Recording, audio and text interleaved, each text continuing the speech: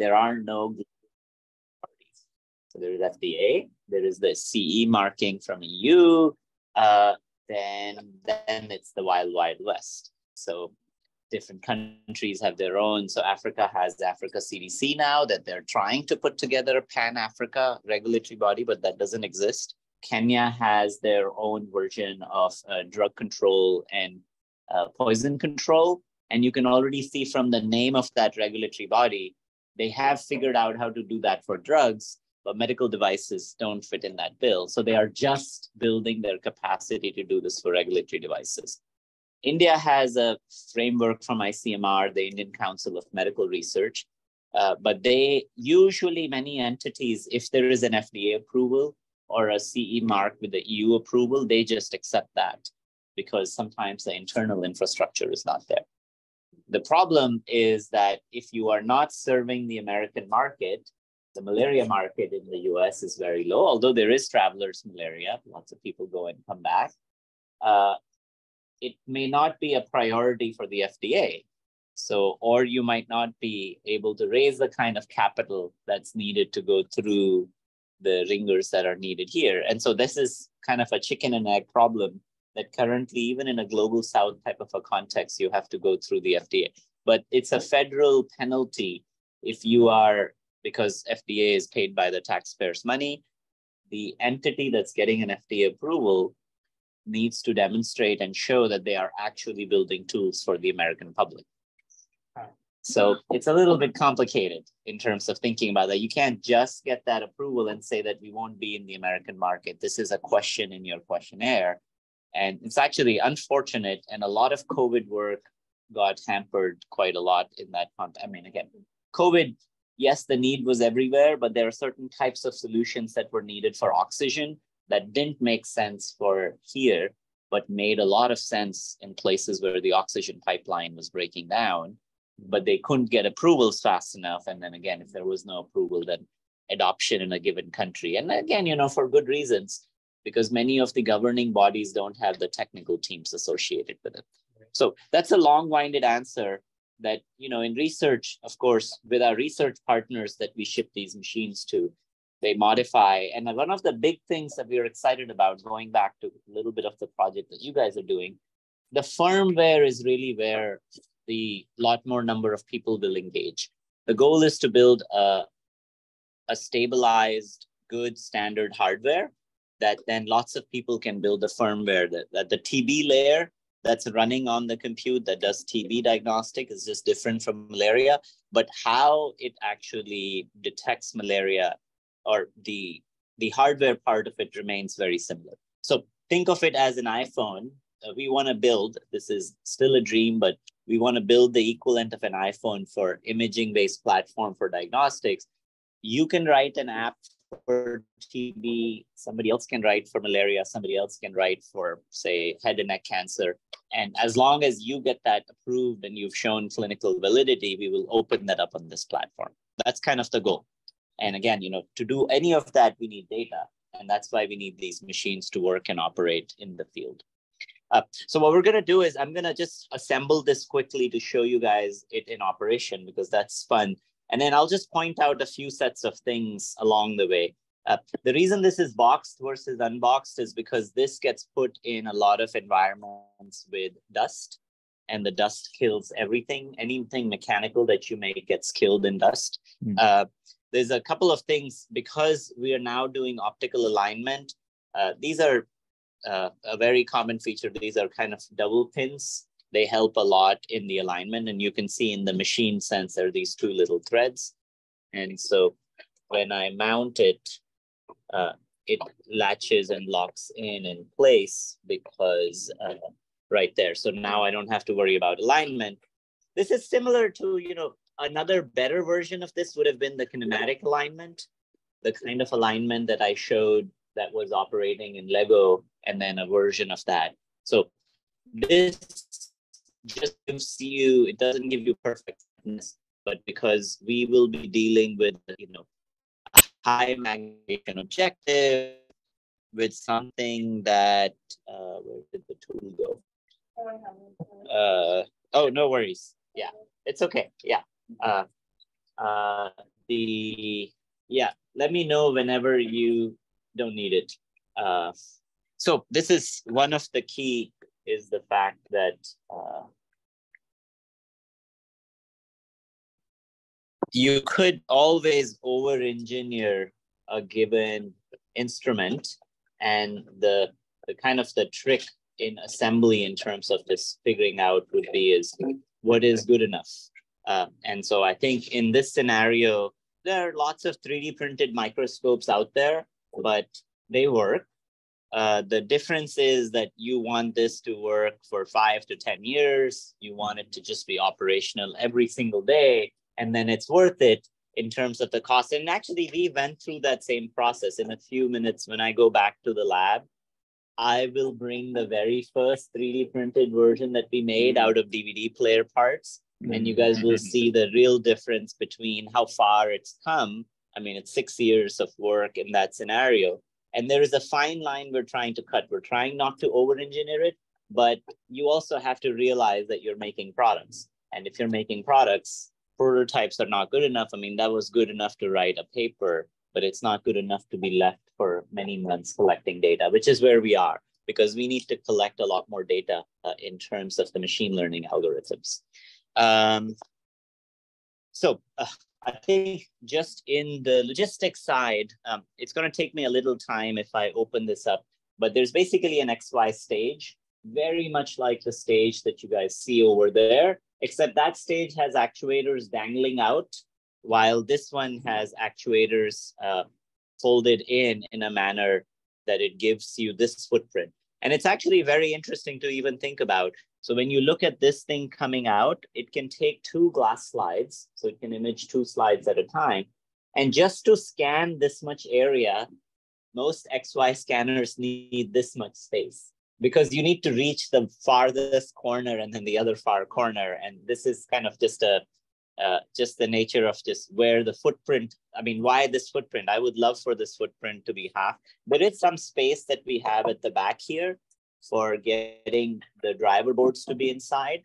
And so I think, you know, it's not as if this is, but from a compactness point of view, I think, you know, that's really the, and the first ones that we made were much, much smaller. But again, the motors were not that robust.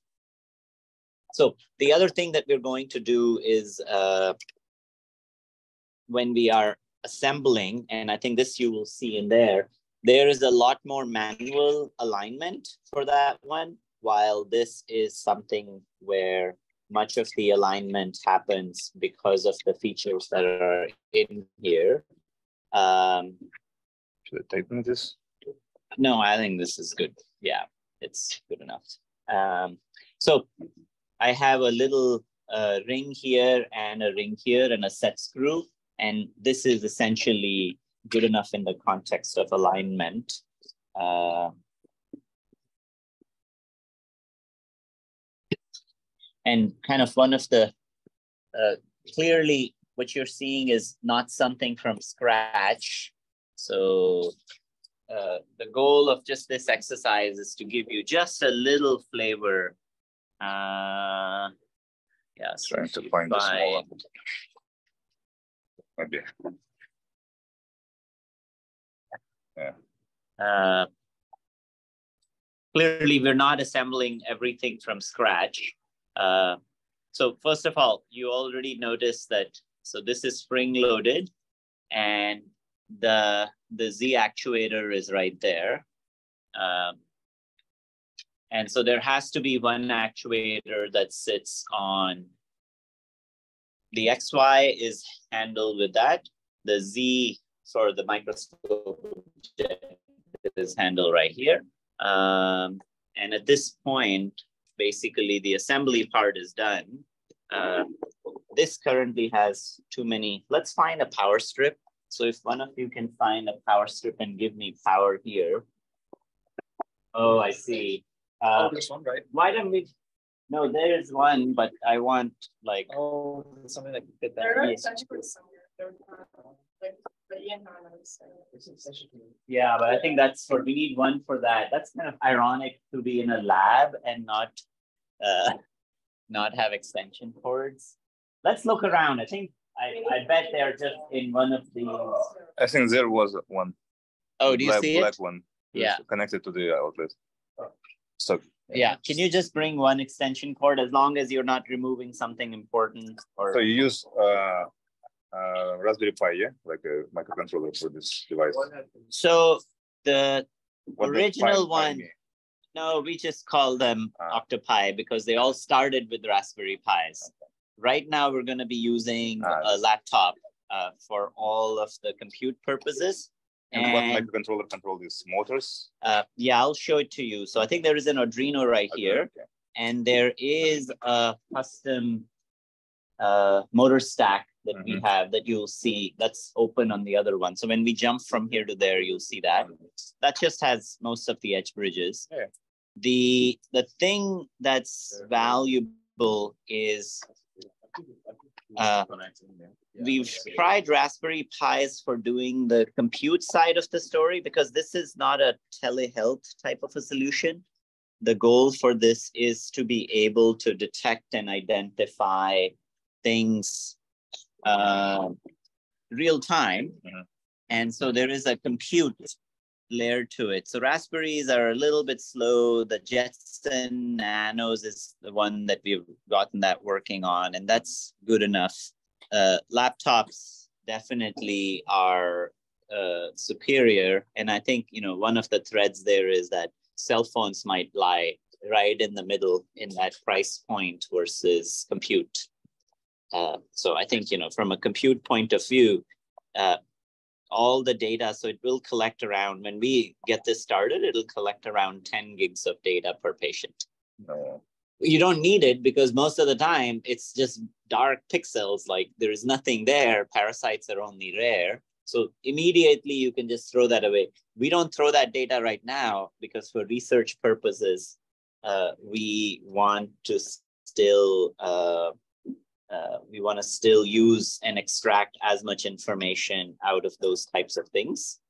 But technically, uh, you don't actually need to store any of that data.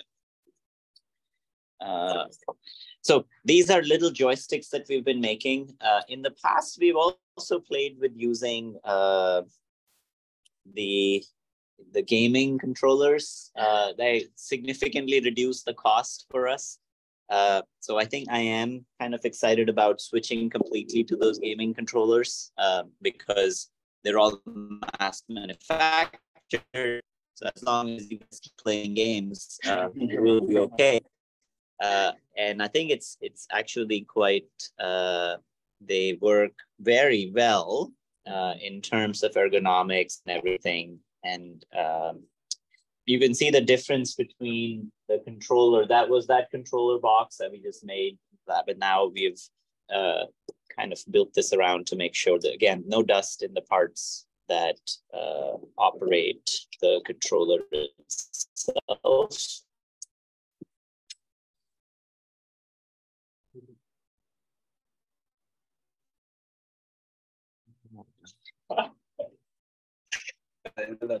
It's just like so funny. It is funny to see the latency between the Like the, the orientation. It's, Oh, Because- figuring out. Yeah, yeah, yeah. That's true. Yeah. Yeah. Just mirror. Yeah.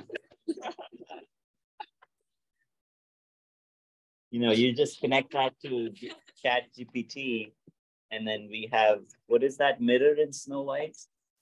You know, the Yeah. there's a mirror in Snow White Oh, will yeah. tell you everything about the future. I bet there is somebody working on that. That'd be funny. That'd be really good.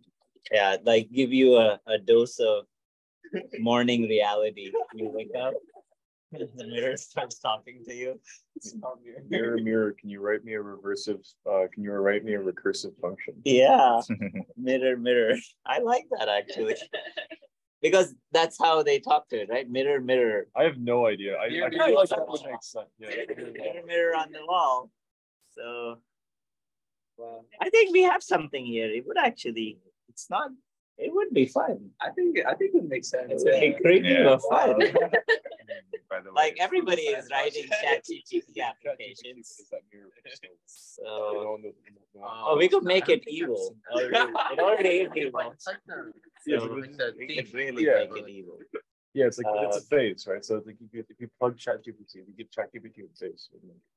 Um, okay, I think maybe I'll flip things around that way. That's You guys can come on this Yeah, side. you Like a recursive function. Be like, yeah, yeah.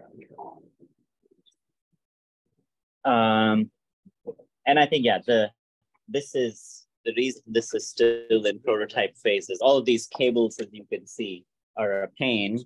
Um, we currently make, that's plugged in, right? Yeah, you- But this is just the most of the. That's correct. But I'm seeing Well, I- I'd say that's all, but it would be a lot. So, X is there. Oh, I think it's. I'm thinking of trying to build something and not just. like, That's there. like, and shit. X, Y is here, power is there, and then now what's missing is No, like. my camera I- I- and the face the or something. Arduino power cable. Probably generally something if it's- Is there another cable that's out? Um, Ellie, do you have a Arduino cable, another one, the USB? Okay, I think Oh, I'm- that's one of them. I might have not.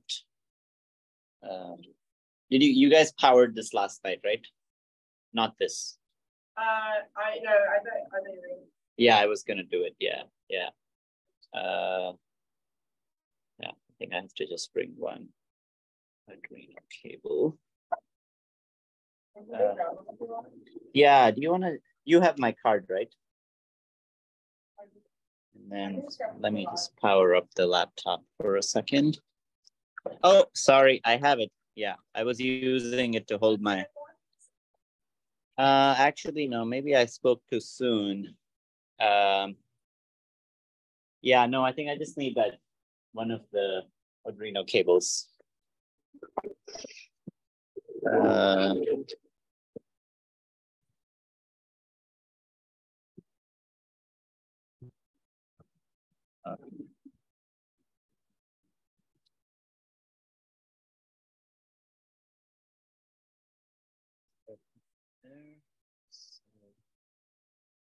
Okay, it's gonna do that in a second.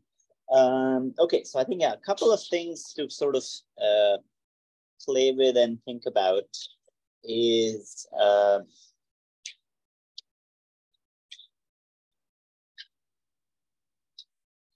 between this system and the other system, uh, the goal really is that you know currently it's using several of these cages for the Thorlabs parts, but after that, this is almost all parts are custom. While in that system, one of the goals is for it to be as open-ended. So say the application that the soup screen folks are now working on, the idea would be is you can already see that, oh, I need to get a plate in there autonomously. I need to remove a plate autonomously. And so you can start thinking about that everything at the bottom remains the same and everything in the top. And then the other thing that you don't see in that instrument, for example, is like, oh, there's no fluid handling yet. So then that would be the other thing to think about, which is, uh, I think everybody's seen open OpenTrons, right? Maybe if not, let's just, while we're waiting, let me just show you guys OpenTrons. Watch, watch, watch. Yeah, let's go this way so that we don't, uh, I had a few things. Uh, this is sort of an important interesting in terms of the automation side of the story. Let's just come in here.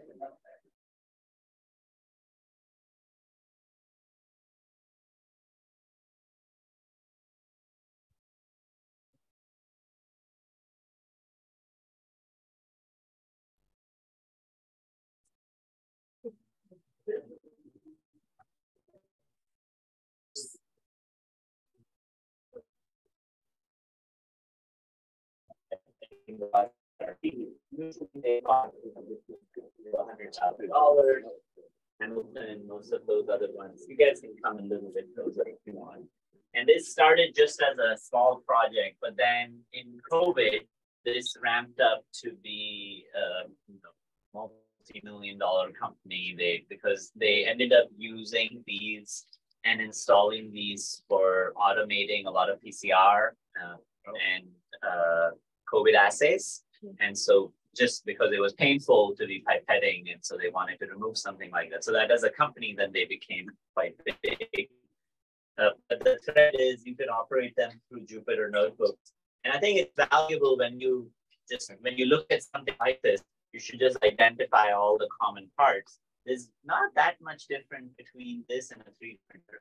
Like most people build 3D printers to begin with, I can already see the motor driver right there. There's actually, uh, in terms of the driver, that's kind of scary. This is mine.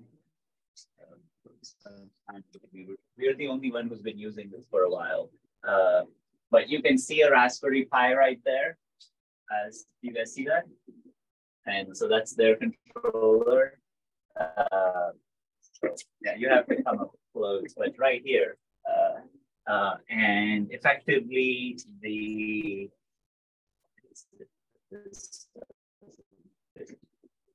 Age book mechanics. Huh? Age book mechanics. I don't.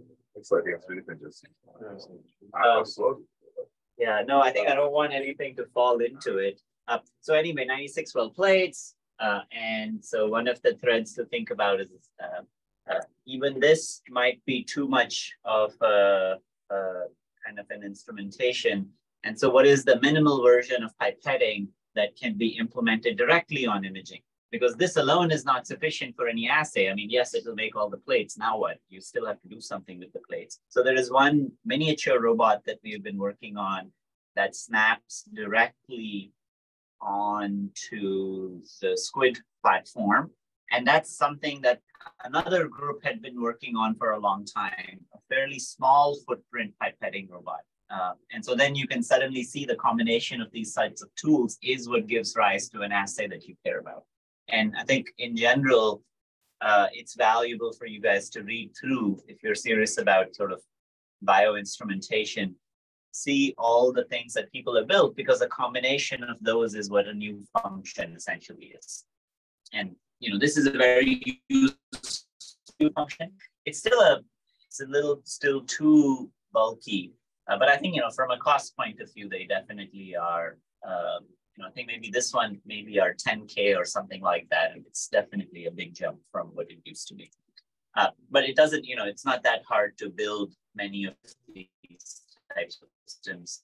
Uh, and then related to this, another project uh, we thought about last year, but I don't think anybody picked up, uh, and I didn't bring up this year, but it's worth mentioning, is the pipettes themselves. So in uh, you might not realize it, but these little pipettes that are hanging out right on that other side, we can go out. How much do you think these things cost? You guys want to guess? Um, huh? 300? Which one would this? Like every one of these little things right here. Too much. Too much. Yeah. So a thousand dollars or something. Wow. More. But then you also pay for calibration of them. every Wow. That is another couple hundred dollars. This is a big cocktail. And somebody comes, you know, somebody literally comes to the lab across all labs around the world, sits there and does something for calibration. And I have no choice but to pay because when you're writing papers and you know you want your results to be repeatable, you want to make sure that your pipettes were calibrated but what you pipetted is exactly what you uh, had. Uh, yeah, so I think, I mean, in general, this is, uh, that's a pretty important uh, thing to target as uh, getting, um, uh, building pipettes that, that actually are, I mean, you know, sometimes the, and again, the original patent for a pipette uh, is actually fairly old. And it's not that they have dramatically changed in any way. And it's, it is about time for somebody to actually tackle that directly.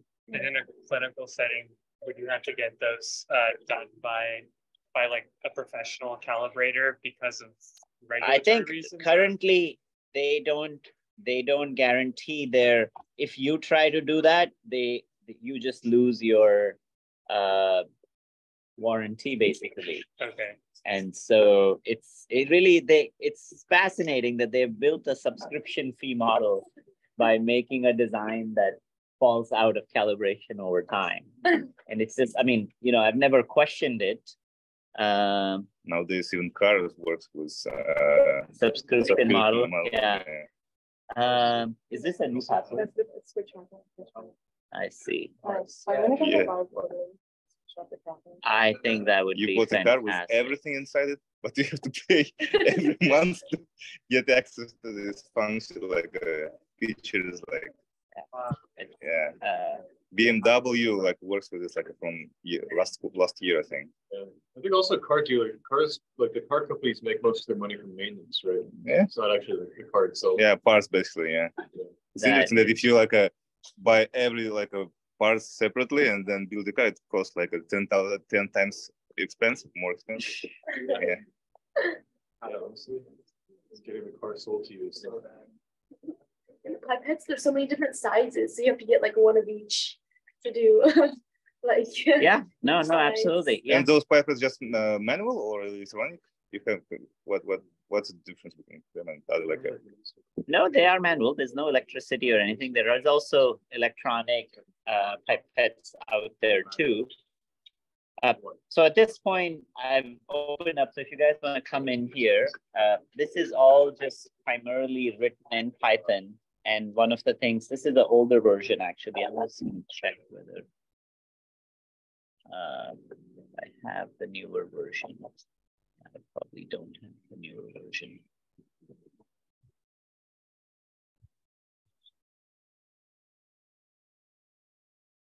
Um, so the first thing we will do is to see whether our LEDs are turning on and off. So I have, uh, and then you can see the light turned on. That's live. Uh, I need to first go to signal. So this one is kind of a research version implying that you can do all kinds of crazy multi-acquisition. So I could program it arbitrarily. There is one front that we have that's a very malaria focused front. So then the, there's not that many buttons other than just saying, oh, here is a step that just get started. Uh, so, uh, and then the other thing that I'm just going to do is to get to instead of, I think usually we have a load button for it, but um, let's just do that manually.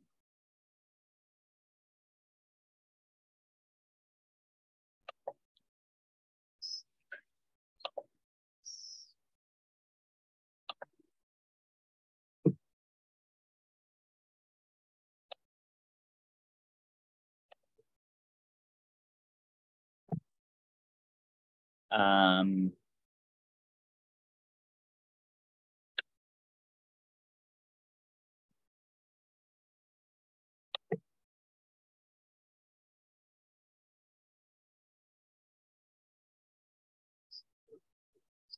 got to load a slide.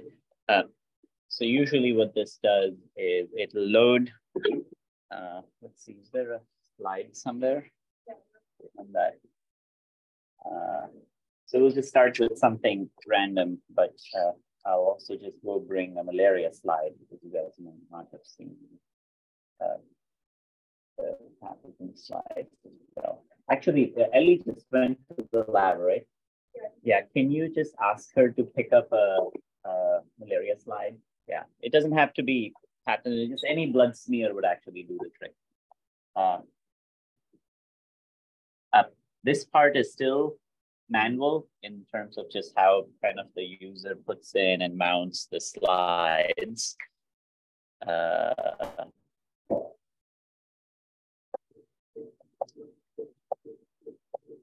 yeah, and then I'll find and change the for a second the version for doing that on Uh, so you wanted to apply the machine learning to uh, automatically uh, adjust or No, that is already done. It's it's the older version. I think we just changed the laptop. I have to find that new version for the code.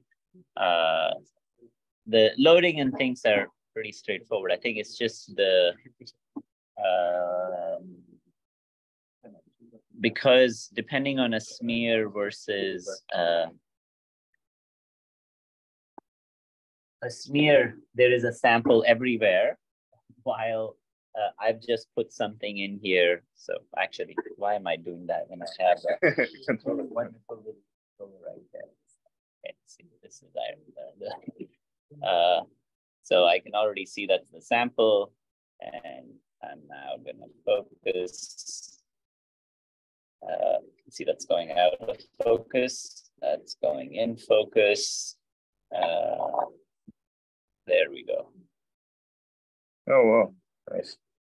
Um, and so then this one we have designed where there is a little bit of a, a kind of like rheostats, um, where I can choose the speed, for example, how I want to work. So if this was a patient sample, say a cancer patient sample at this point, uh, this would scan this entire thing.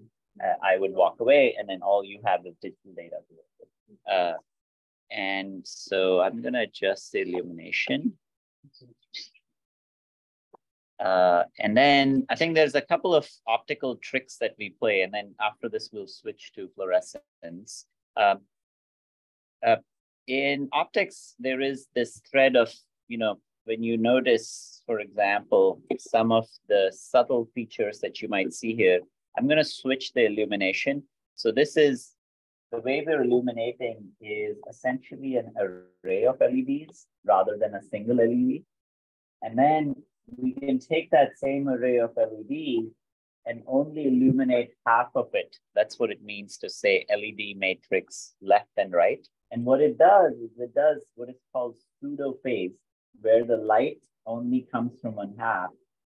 And because of that, there is an equivalent version of it where the sets of contrast you see if everything is illuminated as compared to the contrast that you see uh, when the array is illuminated. So when I do half, you notice that the intensity went down, which makes sense because now I have half of that light, but I can in increase the total intensity. Uh, but in here, uh, the, the types of things that you are seeing, for example, are would not be visible in features. And this will become very clear when we do the uh, the blood sample slide. Um, uh, because with that slide, uh, there's all kinds of things that will just become visible. So while we're baiting, practically, uh, this is going to be live cell for that, but maybe I'll do kind of a fun, let's do a cheek swab. Uh, so check that out. I want to show you guys sort of contrast that comes by label free. So, and I think, you know, anything that you can see, what label free just means uh, you haven't stained it. And you can still observe things inside a cell uh, because it still has a refractive index that's different. So I'm hoping I wash my hands. So I'm going to do something gross. Uh, I'm sure you guys have done this in high school, right? No? You guys don't do that? No? I thought this is like a standard in all high schools where you do. Or it's like, like, have I done this to myself or like, have I seen someone do this? For someone. I'll do this else. So at this point, what I should do is uh, wash my hand or maybe not. Uh, cover slip, which I don't think I have here, right? It's gonna dry. It's okay. We'll just test it. I think, uh, you know, this is interesting. I've been thinking about cheek swabs for all kinds of reasons. See how non-invasive that is. If I can extract some patient information out of that, that's actually very interesting to begin with. But we're gonna now kind of, what is fun in microscopy is to do things where you don't know what you're about to see. Like you all experienced that a little bit when we were out in the field. So I know. Yeah, I think basically anything with blood would do the trick. So, yeah, okay. blood. So I know there's something there. I'm gonna play around to focus it. Uh, this is the right direction. Uh, currently, the newer version of Octopi, it does a complete autofocus. So right there. And now this is really fun because we can look for bacteria in my mouth, which is The whole not a- universe in your mouth. right there. Wow.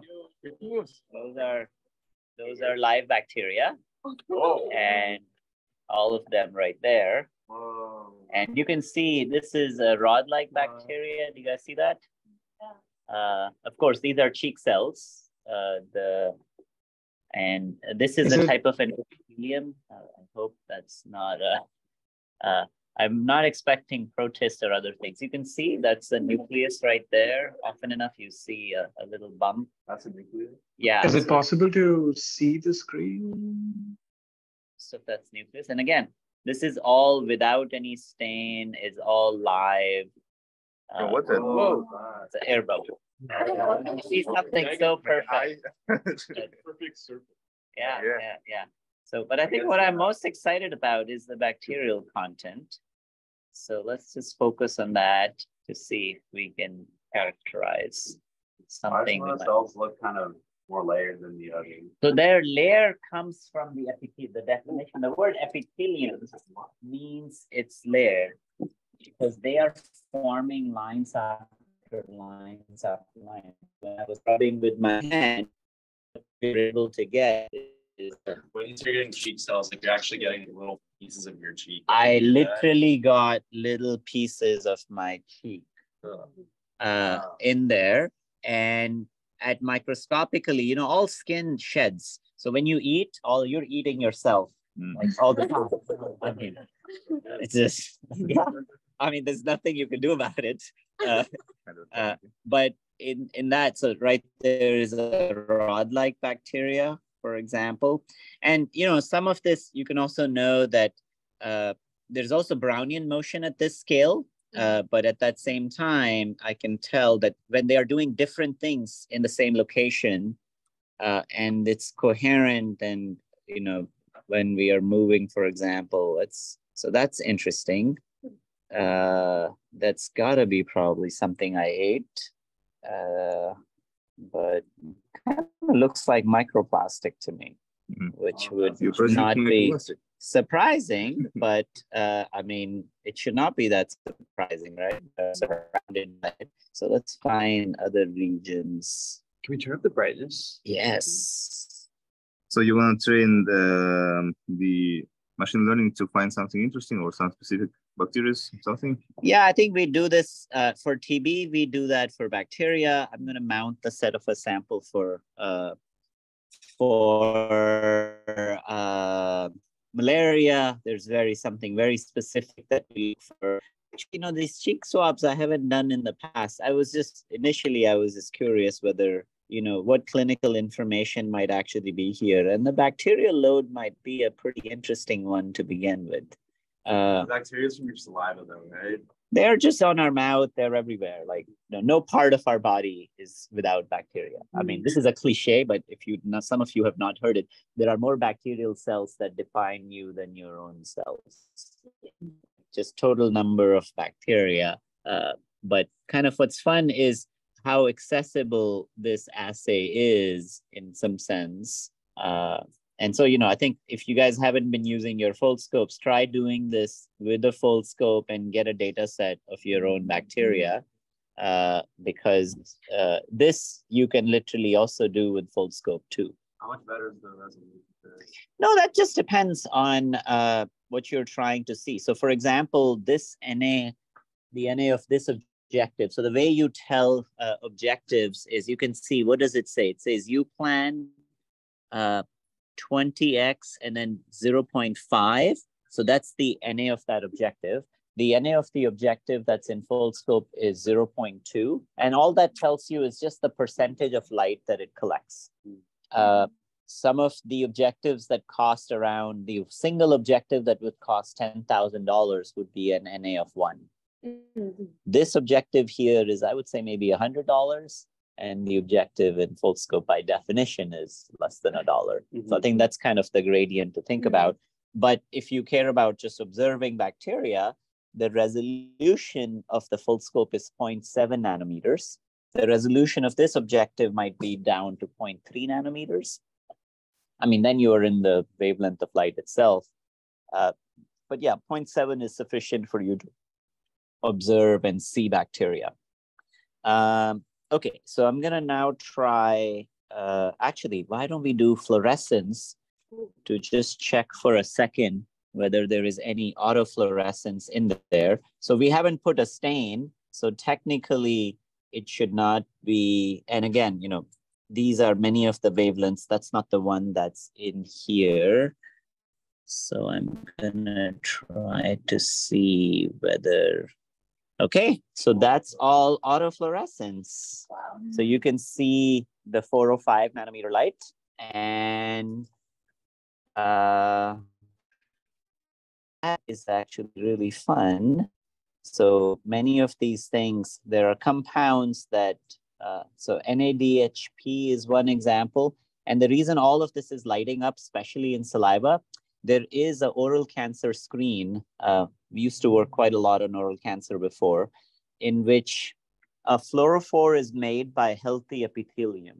And so the current protocols are is if you ever go to a dentist, he might shine UV light in your mouth to just check. This is a common thing that they should always do as a screen uh, because healthy epithelium should autofluoresce, but cancerous lesions don't. And so if you see a dark spot, that's a good sign. At that point, they should take a biopsy and then you should go see a doctor.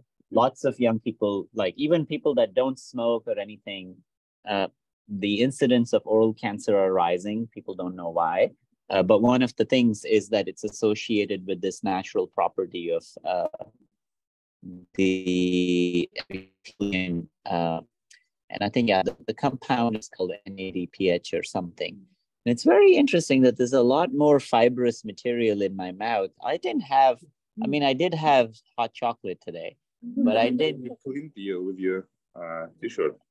Yeah, it could be a little bit of that too. Yeah, you're right. Some of the fibers could just be from our t-shirts and other Could it be things. something like from your finger? Yeah, it could also be that this is clearly not uh, a very well controlled experiment. Okay, so let's switch to blood. So I'm gonna have you just hold it for a second. Uh, and this is contaminated. We'll leave that aside. Uh, what happened? Just wanted to Yeah. rotate, change, you know. Um, so these are just slides made with Inkwell for testing. They're also not labeled. Uh, I can tell. And it's interesting that they're. Yeah, it's so um, the if you're imaging and doing microscopy, always remember which side your sample is. So it kind of looks very similar to that. But if you look very hard, you can tell that this Oh. is where the sample is, Yeah. right? So, you know, just a huge issue normally in uh, just microscopy is if I mount that the other way, I won't have, uh, it won't, you know, it can't focus through the slide. So I'm just gonna go back here, live, and then there. And then of course, any sample I put in, I have to focus it again. And then this is the one, uh, the new version of the software just automatically does that. So now that's blood smear. So I'll let you guys, if you wanna come close. Uh, and then we'll try looking for all kinds of fun blood cells. So this roughly is around uh, six microns, seven microns. So, but now the challenge is, you know, this is just a tiny field of view. I can go as far as I want, and you see all kinds of just, it's a sea of cells. Uh, and what you have to do is you just, if you were manually a microscopist, right? You were sitting you would see this much of a field of view and you have this massive sea to spend time on to be able to make kind of uh, uh, and this is really funny the ghosting. It's almost as if those mm. are cells that lysed somehow. Mm. It's i'm a little bit surprised. Why aren't they red?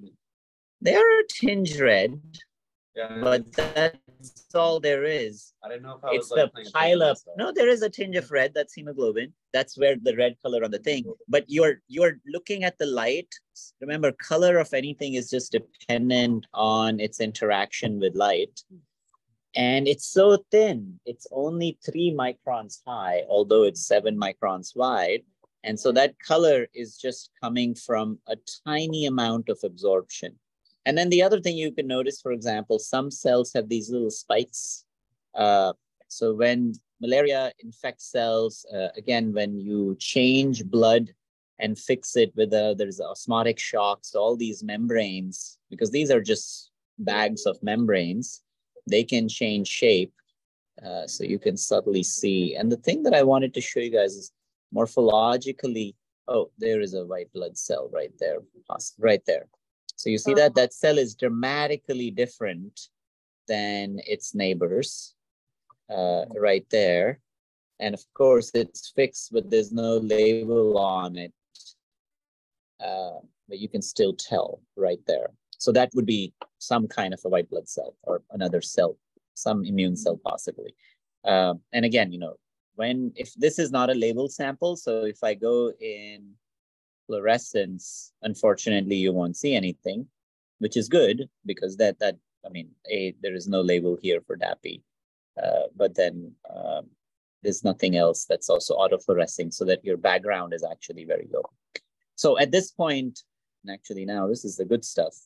It's funny why these feel a little more red. I think they're piled up a little bit. Uh, and you can also just see the quality of the smear changing.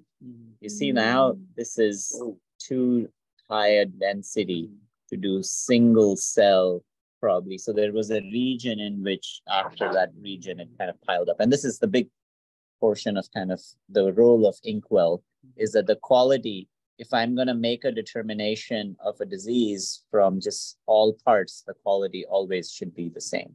And there is something subtly different between these cells and the other ones. So let's switch to squid, and Ellie's going to give a quick. Uh, is that good time, Ellie? Yeah, Or we're actually I-. Awesome. Okay. So we'll come back. The as I said before, Squid and Octopi internally have very similar parts. But what's exciting is now this is really modular. Anybody can build anything on top of it. And then the application that's running on this is for tracking. So there's a lot of organisms that are alive that move. And uh, I'm assuming, let's see what cell it is.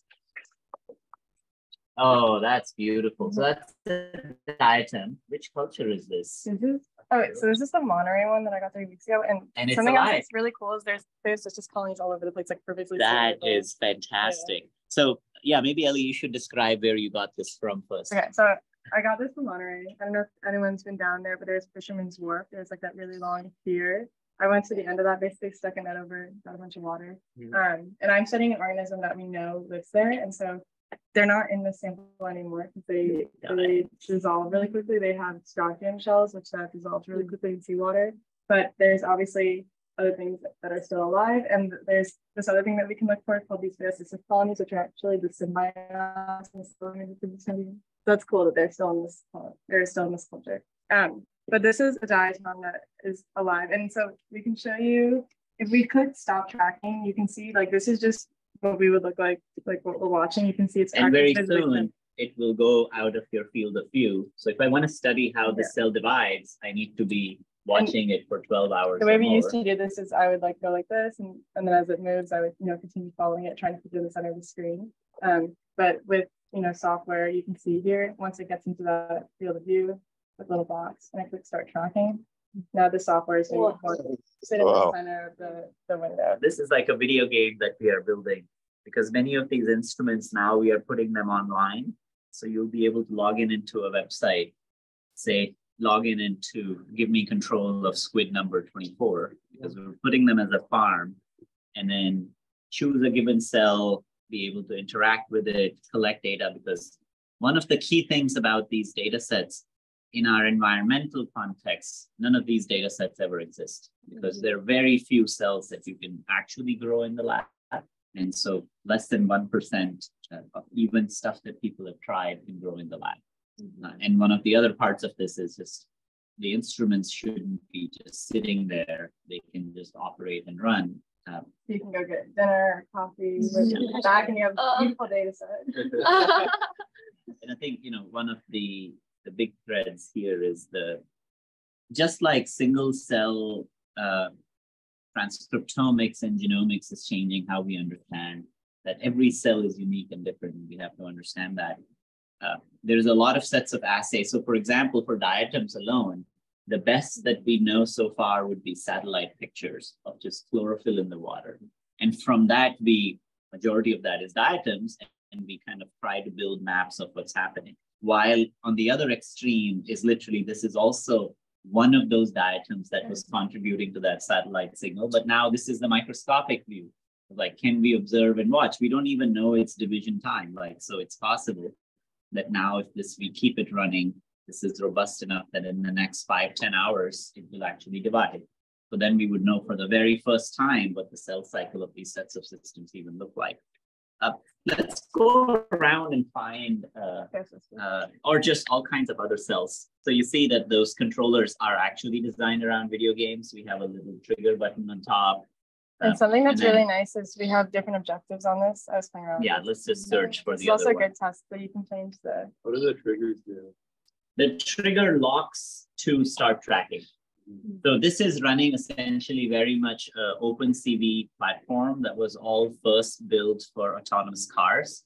So we're using the same tracking algorithms that are tracking you when you come in front of a self-driving car. You know that box that appears and they've gotten better and better. And only because of that, this we is- can do this. These are the Phaeocystis colonies. Oh, those are big. Yeah, they're on. They're all over the dish. That's fantastic. Looks like you're shooting on the uh, quadra quadricopter, no?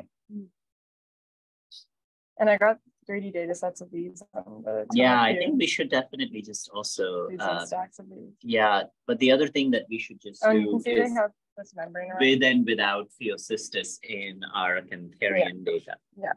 Because, uh, Because we have some empty shells that are sinking. yeah, Oh, wow. and So you- also and you can see there's like a like a membrane around the Phaeocystis colony. If you see that, it's Yeah. really fine. yeah, right there.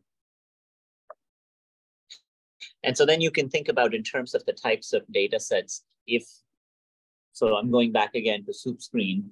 Uh, what would this do is that would be a prescribed assay because we're not actually tracking anything. You would say, I have 96 wells, here are the positions for it. You would write a little, just like in that multi-acquisition, that this is the acquisition you want. You would remove the plate, add chemicals to that, start that again, do a comparison between with and without, and then just purely see abundance of bacteria to say, hour one, how many bacteria do I see? Hour two, how many? Some of those colonies will grow, but not in colonies, but in single cell. And then some of them would shrink. And then you would draw an AST plot, which just shows as a function of combinatorics of drugs and pathogens. What did every well do? So that would be kind of the goal uh, in terms of, and that would require you to quantify. So all of this data comes in, but unless you can process this autonomously using compute, it's very hard to infer what just happened. So for example, for uh, Octopi, we have a spot detector that basically counts. And there's another tool called CellPose that also counts different types of cells. You can train for what cell type. So you would train them on bacteria, and then it would automatically detect and give you just the total number of bacteria that you saw. So the direction that science is just generally moving in life sciences, at least. In the old days, people would observe and see, but now we can increase our observation window, but it's not possible to see all of our data. So this is what we struggle with. Is that so when Ellie got back from Antarctica, we still have to go through all the data. It's just it's such massive amount of data, but algorithms can go through that data. But you can also miss out a lot because algorithms only see what you train them to see. So this is a huge challenge, although we're making this capacity open. And this is also why we're also opening these data sets, because this is where citizens can engage and involve. Know, if somebody could highlight and upvote something interesting happened in this movie, then suddenly it can actually be analyzed much more properly. Uh, but you know, these sets of data sets, for example, for abundance, uh, same is true also for Planktoscope. Mm-hmm. It would be the flow through version of this. We would have this massive amount of data, but then you, so you need to, if any of you think about these fields, you have to get your skills of processing data with code mm-hmm. to be really good, imaging data especially, because without that, it's so hard uh, to be able to say the kinds of things that you might want to say. Mm-hmm. Um, yeah. Why is the objective put under the? Uh, so this is inverted microscopes. Inverted microscopes are very valuable when you want full access from the top. Like I might, you can see it's an open top, so it's fully. I mean, that could be a massive amount of fluid on top. I might put other probes on the top. I might add mm-hmm. chemicals. Mm-hmm. So there are configurations so when you buy microscopes, the microscope dealers would start with, I mean, uh, nothing bad against the dealers, but they would start with, you want a upright microscope or an inverted microscope? And my answer is, I want both. And so they'll sell you two, two microscopes. Uh-huh. While in squid, all I do is, I'm not going to do it here, but I undo the screw, I flip this upside down. I mean, it's the same thing. It's an upright microscope, or it doesn't mean anything, but there is no modularity, there's no reconfigurability in how you buy instruments. Uh, and again, you know, for malaria, we're not doing live imaging there. So then it actually helps to have an upright microscope because in the end, but it could have also been on the, that's just a choice we made because the stages are heavy. We wanted the instrument to be bottom heavy but then otherwise uh, we would have had to have this top heavy, which, uh, you know, most of these inverted scopes are top heavy. Uh, but this opens up for, you want to do electrical recordings, you might have neurons there and you have probes coming in. You could just design all kinds of things, capillaries to be able to pull something. Uh, and then I think the other part of this is uh, for some of those, I mean, this one happens to have a turret, so you can do multiple objectives. You can remove that turret, you can just mount one objective. You can take that same, completely remove that single arm, because you can see this is just transmitted light. It doesn't have fluorescence. But take that module and snap that here, and then suddenly this has fluorescence. But that's the reconfigurability. Uh, and again, you know, just uh, traditionally, this is really at the core. I mean, I'm assuming you guys have seen the big Nikon or any of those microscopes. It's just this is what there is, hmm. but it's all hidden in this box and you can't change it, and all the APIs are closed. And we pay five thousand dollars per year for software and blah blah blah.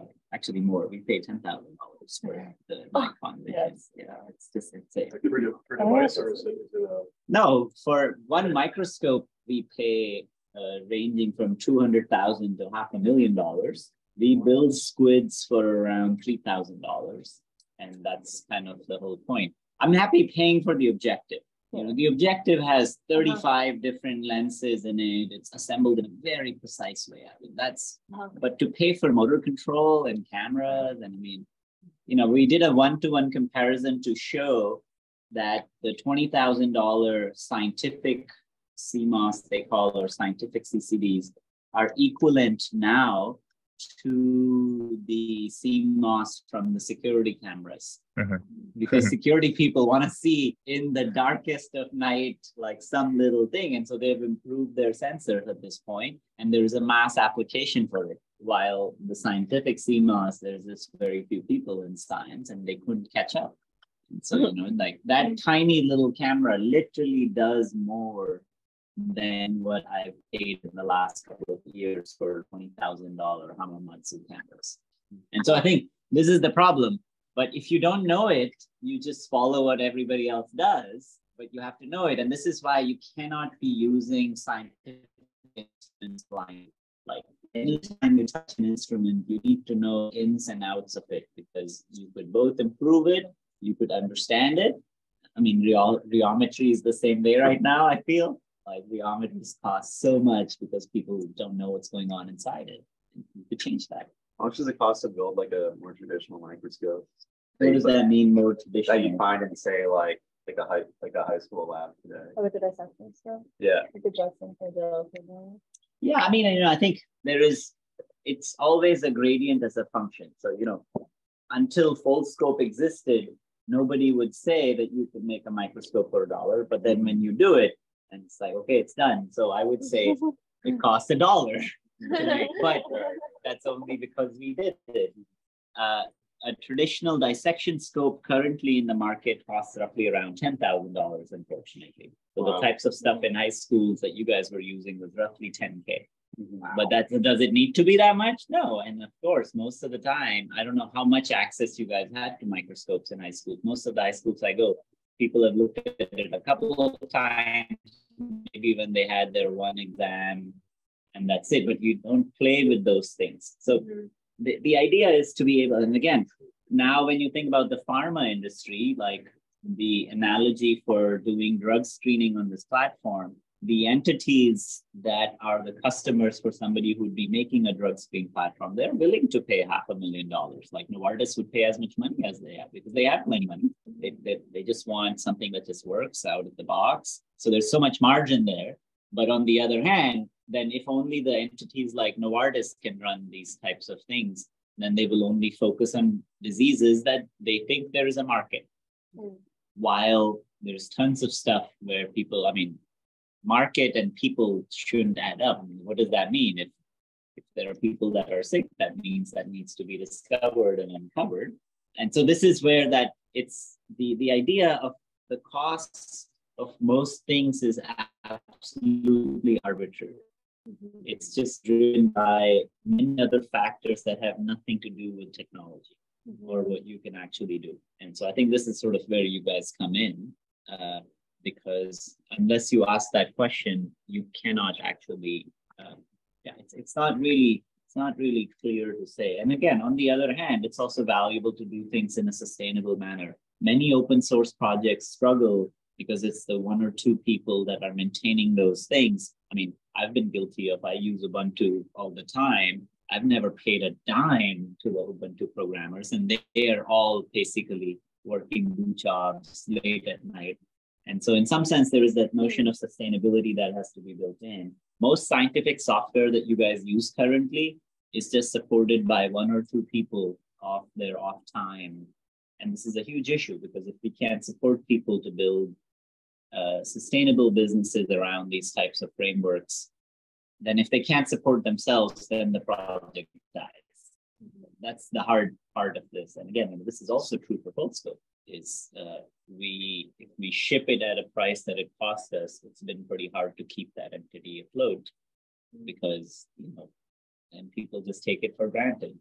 So there is uh, this is the I think this is also where kind of from a uh, building impact driven entities that will evaluate themselves, not just by the end, but just number of people you've reached, but then making sure that it remains sustainable to a point that at least the entity will survive and can compete with all these other things that are, you know, like competing with the Nikons of the world is not so easy.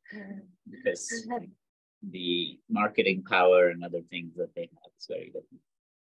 Um, and this is why I was saying that any of you think about contributing to open source projects because you are using it as a learning exercise, but you might actually, like, for example, what we'll build for SoupScreen will be another module available for the Squid community. Anybody should be able, that's kind of a benchmark that if you use ever an open source tools, you should lift it up and build something that at least somebody else can do now with that tool that they couldn't do before. Uh, so, you know, if uh, you guys take that as an example of swap this uh, computer with a cell phone, that's a huge bump in that, that like eventually everything, like this is a huge cost right now. This is like $900. If we can shave that off by a $200, $300 cell phone, that would be awesome. And you saw that picture I sent Yeah. you. It was a really funny picture that Apple had filed a patent uh, for uh, kind of a shell of a laptop in which where your trackpad is, you drop your iPhone, and then your And that's it. laptop Oh, and it's exactly what Worm and folks are working on in Samir. That it's just, you know, we need to open up a cell phone for much broader use. Uh, so I think it- it's, I would be excited if we, we just make a little shell of a iPhone or any phone and it becomes a Raspberry Pi, like from the outside. This gives all the ports, everything I can run whenever I want. And that would be a pretty sweet end result. Just say this is a shell.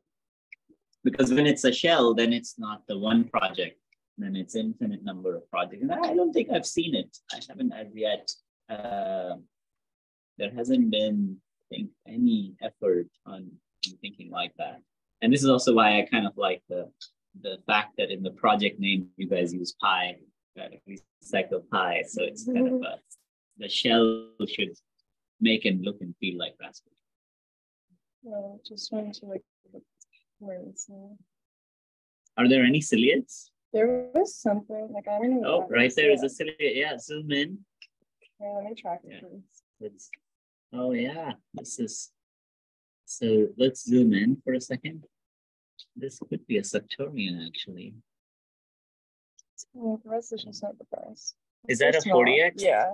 You want? I can give you a 60x. Let me see if which objective. Um, yeah, if you remove the tracking, let's just watch it for a second. I think we got. Uh, so you can see that cell, and what is surprising and exciting is that it has appendages coming out of it, like as if it has barbed wire Yeah. somebody has poked in. Uh, and uh, and I can also see something where oh this is this marine snow swimming by. You can also see some of that is also beating. There's a little bit of that frequency. Yeah, let's just watch it for a second. I am actually curious whether that's a Suctorian. Yeah, see, they are oscillating Yeah. but it's not swimming. That's kind of the surprise. So it somehow not be very anchored itself to the surface. There's a little face with two eyes and nose and mouth, Yeah. long head, just tilted. So, Now I can't unsee it. I will Yeah. Do the face. you know, all of those will change. It's also really talking. Yeah, yeah. Ah, Oh my gosh. okay. Maybe we try. Yeah, I think it's a ciliate. Yeah, Yeah. it's like the that that was very similar to what the our The jumping ones. the no also the prey for luckily the colpetsis that we use which sits there and then Oh, runs yeah, away yeah yeah um Can you feed it with something? Like a, if we had That sounds something, cool. yeah. Because these ciliates like go at it. Like they'll but there's attack each other. thing that's kind of also Yeah. the point of observing natural ecosystems it's kind of like a live Tamagotchi. yeah it's all to do with- yeah, there's like time of everybody eating each other Yeah.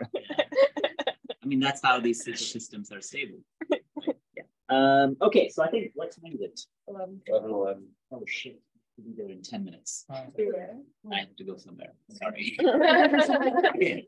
Uh, can you guys bring the stuff back? Yeah. Yeah. We'll keep. Yeah. I'll get this to a group. meeting. Okay. Why don't you give this to me, group meeting? I'll take Right. that. Do my I'm gonna have an ID? say bye to people. Uh,